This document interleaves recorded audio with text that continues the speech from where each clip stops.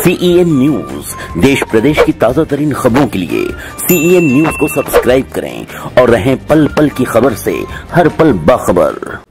नमस्कार मैं हूँ राज पांडे आप देख रहे हैं सीएन न्यूज़ आइए देखते हैं आज की खास खबर।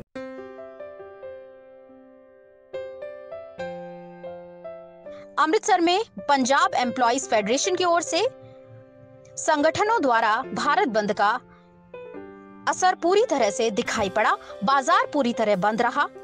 दूध, सब्ज़ी और ज़रूरी वस्तुएँ की सप्लाई भी पूरी तरह ठप है। बैंक कर्मचारियों ने भी इस हड़ताल का समर्थन करते हुए अपना कामकाज ठप किया हुआ है।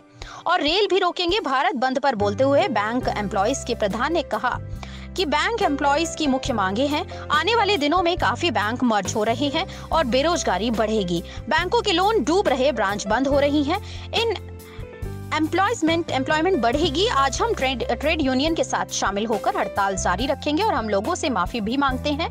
आज जो उन्हें मुश्किलें आएँगी बैंकों में क्योंकि हम नहीं हड़ताल करना चाहते थे लेकिन ये सरकार की ओर से हम पर थोपी गई है। ट्रेड यूनियन ने कहा कि केंद्र सरकार उन्हें धर्म के नाम पर बांटना चाह रही है जबकि पूरे देश को एक रखना चा, चाहते हैं। आज पूरे देश में बेरोजगारी महँगाई का बोलबाला है और केंद्र सरकार ने जो वादे किए थे उसे भाग चुकी थी।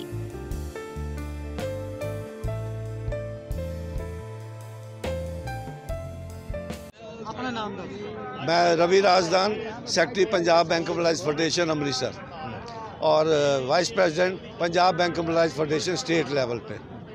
आज जो स्ट्राइक की गई है ट्रेड यूनियन द्वारा जो कॉल की गई है उसमें आप शामिल होते हैं। हाँ जी। क्या कार्यक्रम रहेंगे आपके और क्या क्या मुख्य मांगे फिल फ़िलहाल मांगों का तो मैंने आपको पहले बताया कि मुख्य मांगे हैं कि देश बैंकिंग इंडस्ट्री में जो नॉन परफॉर्मिंग एसेट जिसको हम कहते हैं लोन जो है ख़राब हो गए, उसको सरकार जो है अच्छे कदम उठा के उसको जो है दुरुस्त किया जाए, क्योंकि वही जो नॉन परफॉर्मिंग एसेट्स है, वो हमारे प्रॉफिट के ऊपर जो है डायरेक्टली इफ़ेक्ट करते हैं। इकतीस मार्च 2019 को दो, दो जो हमारा ऑपरेटिव प्रॉफिट था वो तकरीबन एक लाख साठ हज़ार करोड़ के करीब था।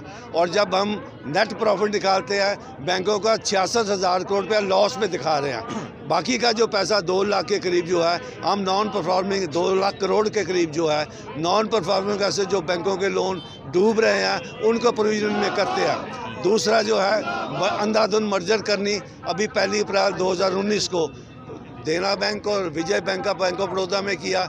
इसका मर्जर करने से सैकड़ों ब्रांचें जो है दोनों बैंकों की बंद हो जाएँगी।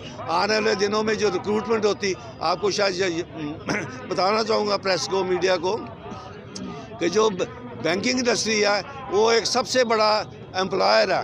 वो तकरीबन एक लाख जो है पर्सन जो है, एक साल में रिक्रूट करता है। जैसे धनाधन मर्जर होने के साथ मर्जर होने के साथ जो है, वो बैंकों की बैंकों में जो आम रिक्रूटमेंट होती थी पर्सन की पढ़े लिखे लोगों की, वो बंद हो जाएगी, ब्रांचें बंद हो रही हैं। इसमें क्या ऐसा? आने वाले दिनों में पहली अप्रैल 2020 से 10 बैंक और मर्ज हो रहे हैं। कहने का मतलब है कि आने वाले दिनों में रिक्रूटमेंट बैंकों में बंद होगी अनएम्प्लॉयमेंट बढ़ेगी अनएम्प्लॉयमेंट पर ऑलरेडी जो ग्राफ है, वो बढ़ता जा रहा है। तीसरी हमारी जो डिमांड है कि बैंकों की रिक्रूटमेंट के बारे में कहा यह बहुत ज़रूरी है। बैंकों के कस्टमर के ऊपर अंधाधुन जो चार्जेस सर्विस चार्जेस बढ़ाए जा रहे हैं, ये भी एक नजायज़ है। तो ये चार पाँच मांगों को लेके और वेज रिविजन हमारा जो एक ग्यारह दो हज़ार सतारह से बैंकिंग इंडस्ट्री का ड्यू है वो भी नहीं हो रहा उसकी हम डिमांड करते हैं कि जल्दी किया जाए। आज का क्या कार्यक्रम रहेगा? आज का सिर्फ़ कार्यक्रम जो है यहाँ पर हम डेमोस्ट्रेशन करके मेन जो सेंट्रल ट्रेड यूनियन की रैली है उसमें शामिल होंगे। जो आगे का कार्यक्रम सेंट्रल ट्रेड यूनियन का आएगा जो अपना सारा कुछ आएगा उसमें जैसे भी बैंक मुलाजमों को जथेबंदी हिदायत देगी वो उसमें शामिल होंगे। इन शब्दों